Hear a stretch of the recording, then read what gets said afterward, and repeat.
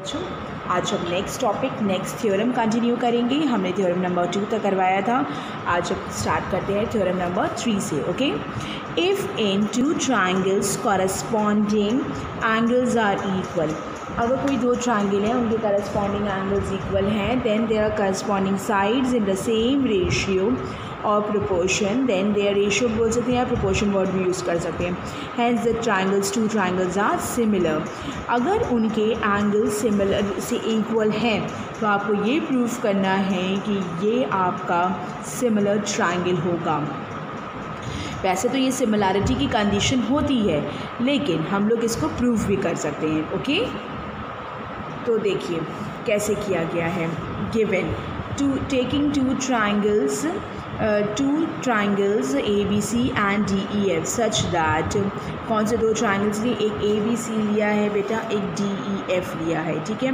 दोनों triangles similar अभी नहीं प्रूव हुआ है, सिर्फ़ कह रहे हैं एंगल्स इक्वल हैं ओके यानी कि देखिए क्या लिखा हमने angle A is equals to angle D angle B is equals to angle E angle C is equals to angle F सिर्फ़ एंगल्स को इक्वल किया गया है, यानी प्रूफ करना है the two triangles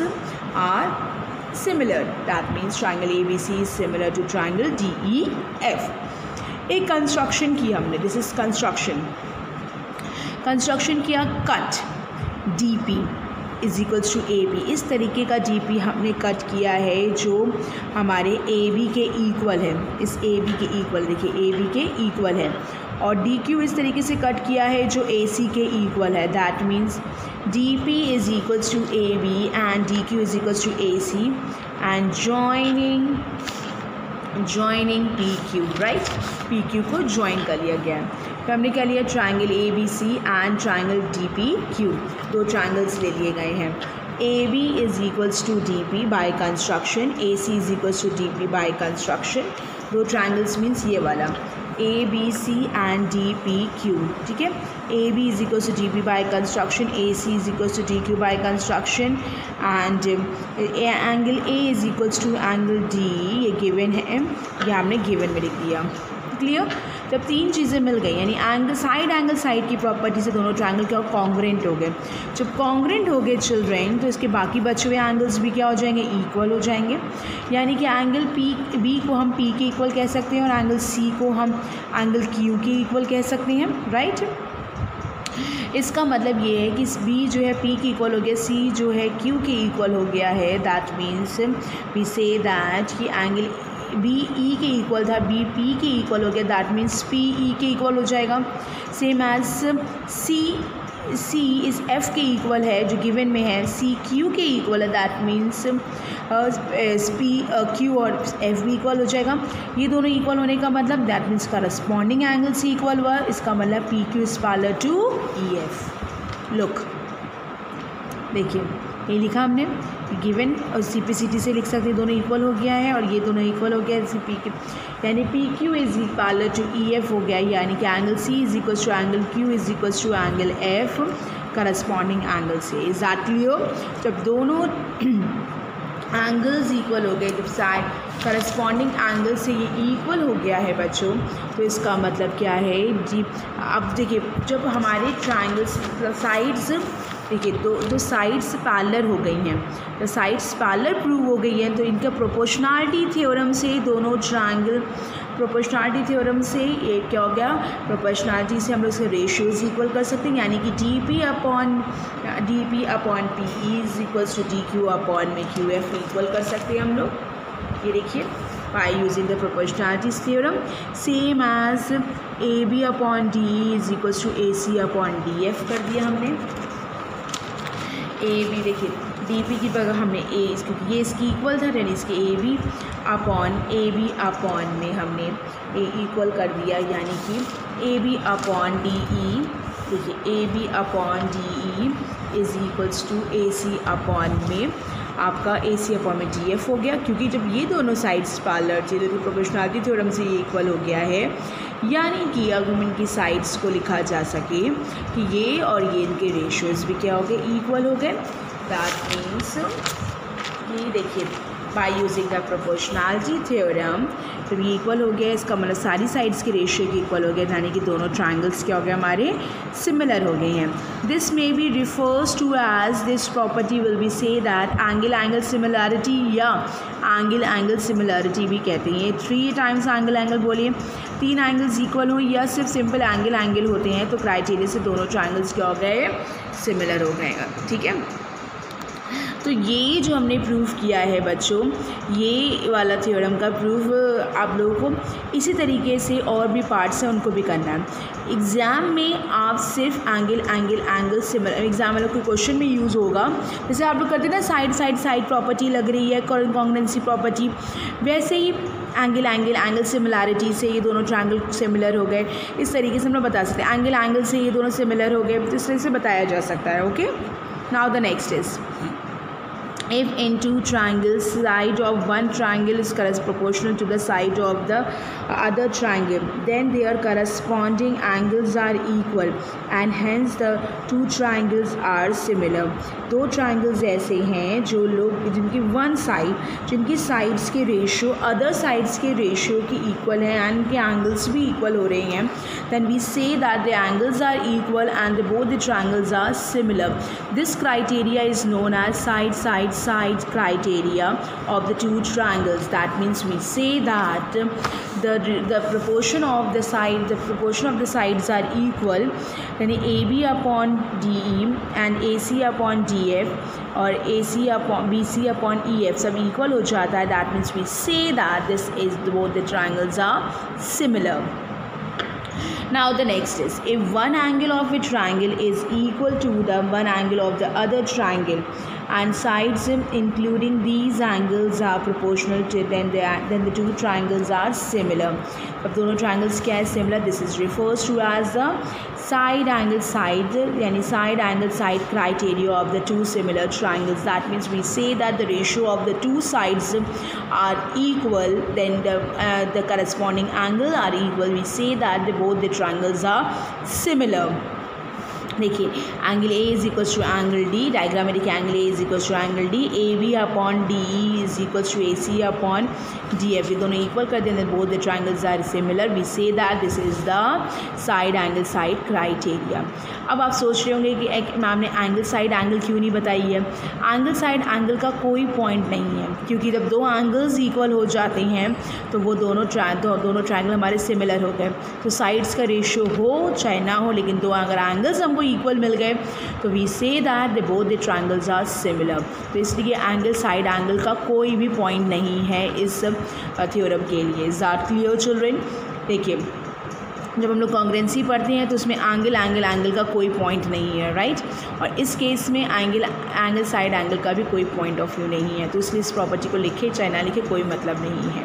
क्लियर आगे हम बढ़ते हैं। नेक्स्ट तो जितनी मैंने थ्योरम्स पढ़ाई हैं बेटा, ये आपकी नेक्स्ट एक्सरसाइज को कवर करेंगी, ठीक है?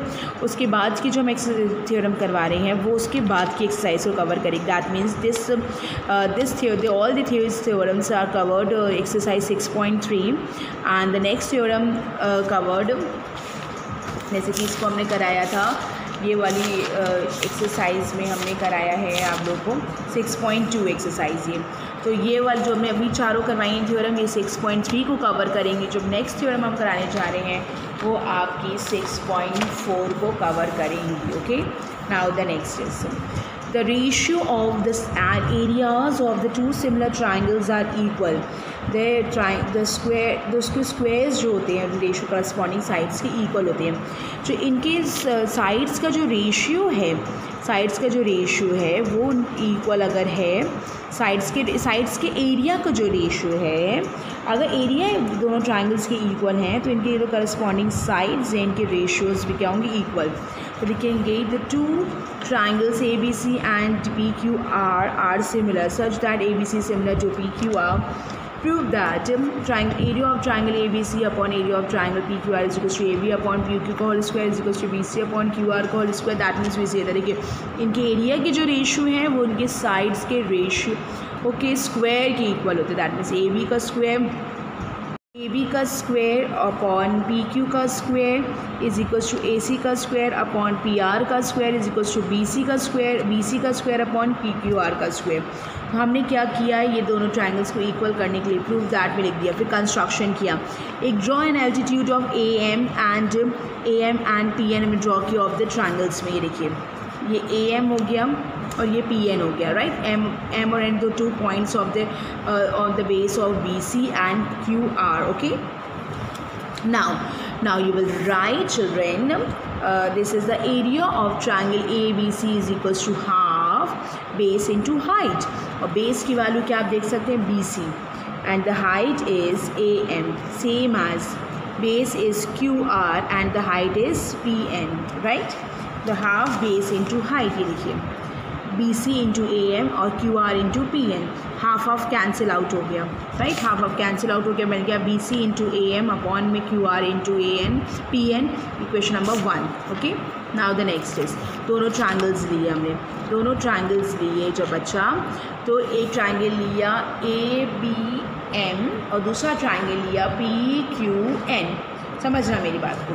Angle B is equals to angle Q Q equal है क्योंकि ए बी सी को पी क्यू आर के सिमिलर ये बोल रहा है।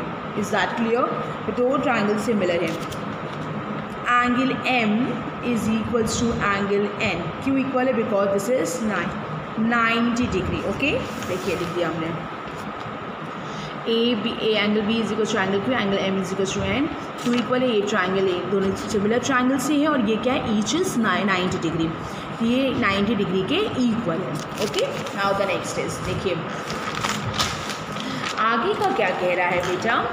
कि दोनों ट्राइंगल जब सिमिलर हो गए हैं हमारे तो एंगल एंगल सिमिलैरिटी क्राइटेरिया से दो ट्राइंगल्स आर सिमिलर तो यानी कि दोनों ट्राइंगल जब सिमिलर हो गए तो उनके रेशियोज इक्वल होंगे, यानी A M upon P N is equal to A B upon P Q इसको भी देख लीजिए कि A M upon P N कैसे होगा देखिए A M upon A M upon P N is equal to A B upon P Q right होगा? ये साइड से रेशियो लिख सकते हैं बी ये भी लिख सकते हैं, लेकिन जब हम दो का काम है मैं दोनों का लिख दिया, ये इक्वल कर दिया हमने। इसके बाद देखिए क्या लिखा, ये लिख दिया।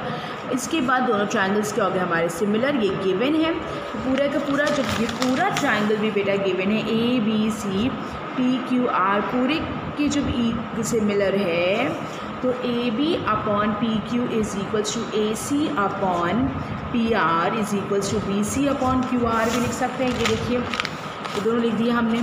फिर उसके बाद क्या किया हमने? एक जो ट्राइंगल हमने from equation number first and third first वाली कहाँ थी हमारी? फ़र्स्ट हमारी थ्योरम थी इक्वेशन थी। आप लोग अपनी इक्वेशन में देखिए। फ़र्स्ट इक्वेशन हमारी बनी थी एरिया ऑफ़ ट्राइंगल देखिए। ये बनी थी area of triangle A B C upon area of triangle P Q R is equals to B C into A M upon P Q R into P N right ये भी देखिए और A M upon A M upon P N की जगह पे हम लोग A B upon P Q लिख सकते हैं। ये देखिए। A B upon P Q लिखा था, इसकी जगह पे हमने A B upon P Q लिख दिया। तो A B square upon P Q square हो जाएगा। सेम एज जब ये हमने A B square upon P P Q को स्क्वायर हो गया from equation number third A B upon P Q का B C upon Q R भी लिख सकते हैं और सी ए अपॉन आर भी लिख सकते हैं। ये देखिए area of triangle A B C upon P Q R is equals to A B upon P Q का whole square is equals to B C upon Q R का whole square is equals to C A upon R B का whole square clear इतना clear यानी कि ये हमारा पूरा का थ्योरम यानी क्या कह रहे हैं कि जो सा एरिया है एरिया के जो रेशियोज़ है, वो इक्वल होगा उनकी साइड्स के साइड्स के स्क्वायर के रेशियो की इक्वल होगा। दिस इज़ द थ्योरम इस थ्योरम का स्टेटमेंट आप डायरेक्टली यूज़ कर सकते हैं अपने क्वेश्चंस में। एक्सरसाइज 6.4 इसमें कवर करेगी ओके तो इसकी प्रैक्टिस कीजिएगा। हम लोग एक्सरसाइज नेक्स्ट टाइम डिस्कस करेंगे ओके थैंक यू गर्ल्स